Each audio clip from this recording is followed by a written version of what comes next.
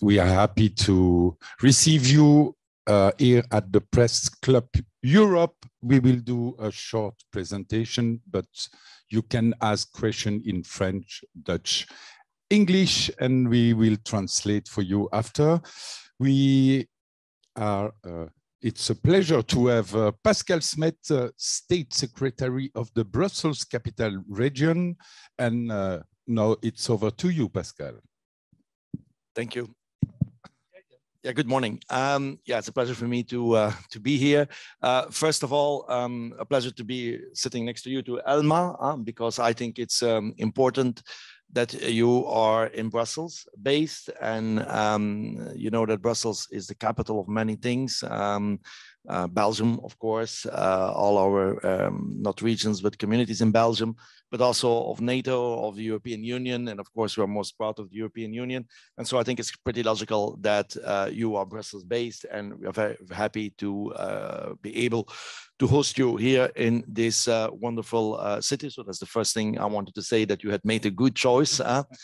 although we hated you, you, a little bit, but it's a it's a good choice to to choose for Brussels. Secondly, I would like to say that um, since uh, three years, I think now, nearly three years, the Brussels Capital Region has um, included uh, the LGTB issue in all uh, her uh, foreign missions. You know that um, we are, as Brussels, a very open-minded city. We are a city where people can, we dare people to be themselves. I think that's very important as an attitude, uh, because finally Brussels kind of attitude, and that people can be who they uh, who they are, and especially also when they choose someone of the same um, gender to uh, to love. And so we are very uh, open city, but um, we have a lot of bilateral agreements with other cities. We participate in all economic uh, missions of the Kingdom of Belgium, our own missions. Um, and what we now systematically do is include um, in all the missions an LGBTQE, um, I don't like that word, it's too complicated to pronounce. Uh, I think it's a big challenge to find a new word that uh, everybody can remember, um, to include uh, that in our missions. And we did that. Uh, I was together with the minister president because I'm doing foreign relations and European international foreign trade of the Brussels capital region. When we were, for instance, in Warsaw, um, we included it in, in, in the program. We did the same in Istanbul. We did the same in Ankara, which are a little bit more complicated as uh, uh, places. Um, we um, are doing it systematically in all the other countries where uh, we are, uh, especially the ones where are difficulties. We try to support also um, international organizations who are Brussels based or not in other cities. I refer, for instance, that we support the Budapest Pride, that we give money to that, and and, and together with, with others, of course. So I think it's it's important that we take that as an official position as being the capital of Europe. And we noticed when we were in these um, other countries and other cities that the fact that Brussels does something is just more than be the capital of Belgium. You know, for for many people over there, it's it's recognized as the capital of Europe. So so symbolically, I think it's very um, important. And so we will do the same, um, and we will support um, Belgian associations, but also the region will be present at the Belgrade uh, Europride. Um, since long, we have a bilateral visit to the city of Belgrade uh, planned because we have a, an agreement and uh, the city of Belgrade wants to uh, elaborate on it and wants to get closer relations with us on, on several themes, uh, mobility, public spaces and things like that. So we are going to, to do that in uh, September, but of course we are going uh, to be present at uh, the Europride officially as Brussels capital region, as the capital of Europe, with a stand with our Belgian associations together, because I think it's important to do all this together. So that's basically what I wanted to say that for us, um, we want to remain Brussels as a, a very open, open-minded city. And even in Brussels, once in a while, there are issues. And I think it, it shows us all that uh, it is never uh, granted forever. And it's always a kind of, of a fight and always a kind of evolution, but it's for everything. It's for women rights. Uh, look to the United States with all the uh, abortion issue. It's it's the same. It's uh, we in Europe sometimes we tend to believe that everything what we have uh, today is forever, um, but that's not the case. Uh, democracy is not forever. Um, human rights are not forever. So it's a it's I would not say a struggle, but it's it's a fight sometimes, and it's a and it's um it's a kind of uh, attention that we need an awareness. That's the word I'm looking for. An awareness that we all have to be aware that that, that there is um, uh, always an issue. And so Brussels, I think, by nature, if I can say it like that, uh, since the 19th century, we were welcoming all these free, open mind thing. Uh, Karl Marx was here, Victor Hugo was here. We have a big tradition, and so we have to keep this tradition. And I'm pretty sure that on the gay rights, LGBTQE rights, um, I think um, I have to do say everything now for Brussels. No.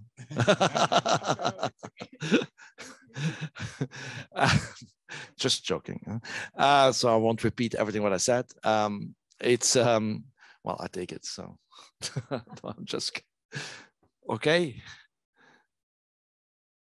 To sum to sum it up, so we take rights in all our international actions. We will be present at the Belgrade uh, Europride, and we are very happy uh, that um, Alma it's getting Monty Python. that, Alma, that Alma is uh, is based in uh, in Brussels. So and thank you, you, you. speak about situation and uh, what's uh, going to be better, but maybe not better. We have just a film to present what's happened at the moment and history of Belgrade uh, Pride.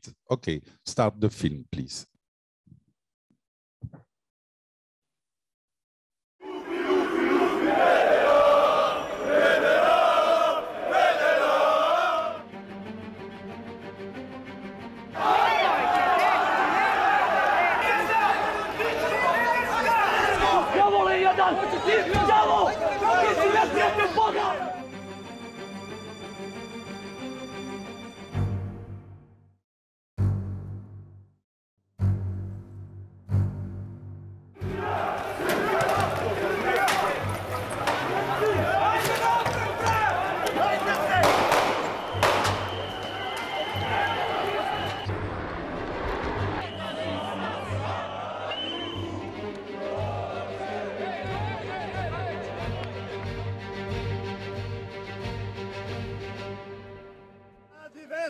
depósito! Uh!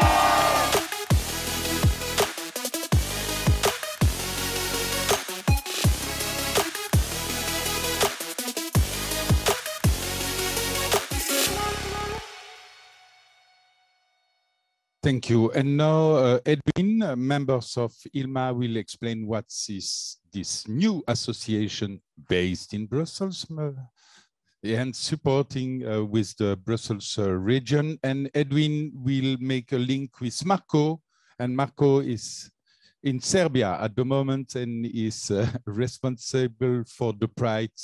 hello, Marco, and now it's over to you, Edwin. Hello, everybody. Is my mic on? Yeah. Yeah. Okay. Um, thank you everybody for joining in today. Uh, thank you all of you for asking me and thank you so much Paul Smith for being here. It means a lot to us all. Um, I, on this table I represent ELMA and ELMA is the newly erected European LGBT Media Association, LGBTQ Media Association based right here in the Press Club in Brussels. Um, all associate members of the uh, are members of the media um, uh, from Germany to Greece and from Hungary to the Czech Republic, we work together to share content and to set the agenda. Uh, one of the most current and significant topics for today is the Europride in Belgrade in uh, Serbia. Um, maybe not the first country you would expect a Europride, uh, but a country that definitely needs one. Um, today we are honored to speak to Marco uh, Mihailov. Ah, I knew this would go wrong. Mihailovic, is that right, Marco? Mihailovic? Sorry. Yes, Marko Mihailovic, and he is key in organizing Europride uh, of, in September, from September 12 to September 18. Hi, Marko. Um, I had to keep this introduction brief because we only have uh, a short moment of time. Um, and I have a few questions lined up for you. Um, are you ready? Very ready. Okay, good. Um, Europride um, will have the world focus in Serbia this autumn. Um, how would you describe the human rights situation the human rights situation of LGBTQ people in Serbia right now? Uh, Edwin, thanks for the question. But before I answer, I really must thank all of you, especially Mr. Pascal Smet, the city of Brussels, and Elma it's a huge opportunity for us to speak in front of all of you, and uh, we hope that press will pick this up. Uh, Europride in Belgrade is an incredibly important event, not only for the LGBTI plus community, but for the human rights movement. As you've had the opportunity to see in the video, Belgrade Pride started very violently in 2001 with the first Pride, and 21 years later, uh, stuff have improved, but not significantly. I would say that the human rights situation in Serbia is uh, not satisfactory to the level that the respect of human rights is something that's a controversial topic in the society. Uh, there's been so much media slander, and there's been so much uh, people in power who haven't respected uh, nor have acknowledged the importance of human rights. So the advancements we have made in the last 20 years, I would say, uh, aren't as significant as they should have been. Uh, I feel that our uh, actually our idea with the Europride is to get solidarity from all over Europe and to have people understand that in the Western Balkans, we're still fighting a very basic fight, a fight for the visibility of the community, a fight for the respect of human rights, and fight for the legal acknowledgement of our lives. So when it comes to the human rights, I would say that we are uh, not where we should have been, but we are fighting hard. And there is a big community of people who believe in a future of democracy, freedom, and liberty for Serbia and the Western Balkans region. Um, well, that's that's a bit disappointing, marco uh, to hear that uh, that that there's so much work uh, to be done. But then it's a good thing we talk to you now, and it's a very good thing uh, that you do uh, that you are key in organizing uh, and that you are organizing Europride in Serbia this year. Uh, um, I take my hat off for you. Um, you say there's a lot of work to be done, and and and you also say that uh, um, you don't get the support that you need. What what kind of support did you get from the government, and what kind of support do you still need? Uh, to be very honest, it's a very challenging question for me to answer because anytime I get asked this question, I try to remain as diplomatic as possible. And I hope uh, that I, I, don't know how, mu- how much uh, the people in Brussels and in the rest of Europe are familiar with the specifics of the Balkan political arena. But for example, our last prime minister was an out lesbian woman. Uh, she has a partner. With her partner, she has a child. But when it comes to the lives of the LGBTI plus community, we are not able to legally register our partnerships. We are not able, uh, and we're not even close to talking about our families, about the children in same sex relationships. So I feel there's a big discrepancy when it comes to uh, what the privileged elites have as an option and what regular people have. Uh, the government uh, has given us support verbally many, many times. And a couple of government officials have been coming to the Pride. But when it, when it comes to legislative improvements, uh, I feel we are stagnating and we are not improving. For example, there was a action plan that expired in 2019 that lasted from 2016 until 2019, where the government has um, uh, planned that they will regulate same-sex unions or partnerships, and not a single step was made forward. And last year, we have finally started the process of adapting the law and adopting the law, but that, that process hasn't finalized yet, and all we've been hearing are promises. Uh, we truly hope that the support that we are getting will stop being promises and stop being uh, talks, it will lead up to concrete actions. We need law on same-sex unions. We need law on gender recognition. We need a multitude of legislative improvements, but no, most of all, we need our lives recognized. We need hate crimes and hate speech to be understood by the institutions. For example, in our penal code, we've had the uh, hate crime as, uh, as a category from 2012 uh, in those 10 years, there's been only four verdicts that have used the hate crime as uh, that have used hate crime when it comes to attacks on the LGBTI plus community. It is in no way uh, indicative of the situation that we're facing. And I have to say that uh, there's a big uh, disbelief and lack of trust when it comes to the public institutions. So there's a very low number of people that are willing to report uh, discrimination and violence. And even when they do report it, there's a huge uh, there's a possibility that uh, they will get outed publicly. There's a possibility of secondary victimization. And there's a lack of uh, training and understanding from the people who should be aware of uh, how to treat victims of abuse and hate crimes. And so, to shorten my answer, I would say that the government support is so far only declarative they it's more verbal than practical. And we really hope that they will recognize the importance of Europride in Belgrade not only for the advancement of the position of the LGBTI plus community but also uh, of uh, spreading a positive image of Belgrade. Belgrade has improved significantly when it comes to uh, the position of the LGBTI plus community, but I would have to say that that improvement is focused only on Belgrade. The rest of Serbia is facing the same amounts of homophobia as they did 10 or 20 years ago, and that's something that we must work on. And also, the idea of our Europride wasn't only to uh, get support for Serbia, but also for all of the others non-EU Western Balkan countries which are facing the same issues. Okay, so th that's uh, rather grim. Uh, um, how will Europride change any of this? Uh, what what's the uh, what will Europride do to change this, except from what you already said earlier uh, in your answer, except from um, bringing it out into the open? Is there is there any chance of politicians making any promises or making any uh, any effort for uh, moving forward?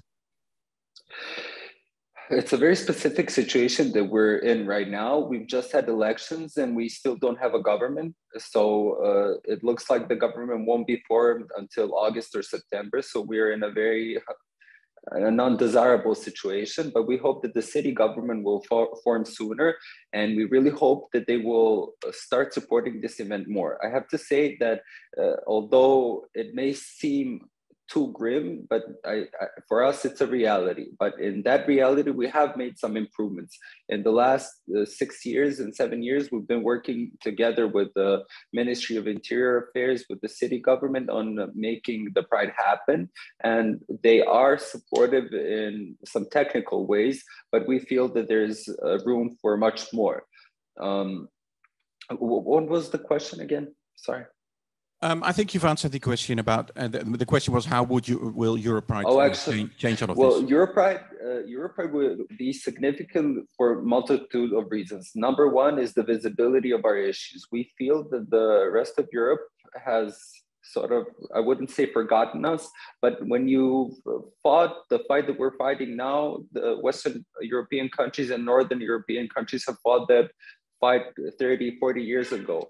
We still need, we hope that we will get solidarity from all over Europe to make sure that uh, liberties and freedoms aren't only yes. for the richer countries of Europe, but for all European countries. So, and that that's so true. One, my, my last question for you, because I'm, I'm, I'm, I'm cut off uh, due for time reasons. Um, there, there's some hope uh, on the horizon, some sun on the horizon, because of course, as we all know, Serbia and the European Union are talking about becoming getting full membership for Serbia as pa being part of the uh, the European Union. They have been talking for quite a while. Uh, after listening to you, I don't think this is really uh, going to happen soon uh, because LGBTQ rights are very important for the EU. How do you feel about this? Do you have any thoughts about Serbia becoming part of the of becoming a full member for the EU?